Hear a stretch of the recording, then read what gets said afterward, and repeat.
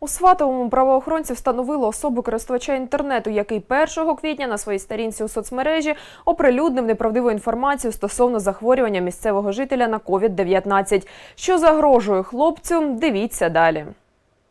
Цей скрін оприлюднив один із користувачів Інстаграм 1 квітня. На ньому частина макету місцевого сайту, головна редакторка якого стверджує, що це фейкова новина. Використалася обложка наш, е, обкладинка нашого сайта, і е, нібито цю новину дала е, директорка підприємства під е, моєю. Під моїм прізвищем ця новина була викладена. У повідомленні йшлося про те, що 31 березня у Сватовому зафіксовано перший випадок COVID-19. Захворів нібито 54-річний сватівчанин, який проживає неподалік воєнно-навчальної бази.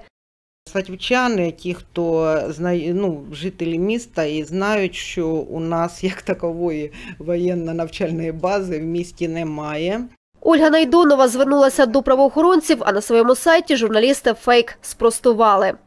Насправді такого матеріалу на сайті не було і не могло бути, бо за офіційною інформацією районної ради у Сватівському районі станом на 9 ранку 1 квітня не зареєстровано жодного факту захворювання на коронавірус. Правопорушника сьогодні знайшли. Це 18-річний житель Сватового. Наразі вирішується питання щодо притягнення хлопця до адміністративної відповідальності за статтею 173 з позначкою 1 Кодексу України про адміністративні правопорушення. Це поширювання неправдивих чуток. Повідомляємо, станом на 3 квітня на території Сватівського району не було зафіксовано жодної підозри на зараження вірусом COVID-19.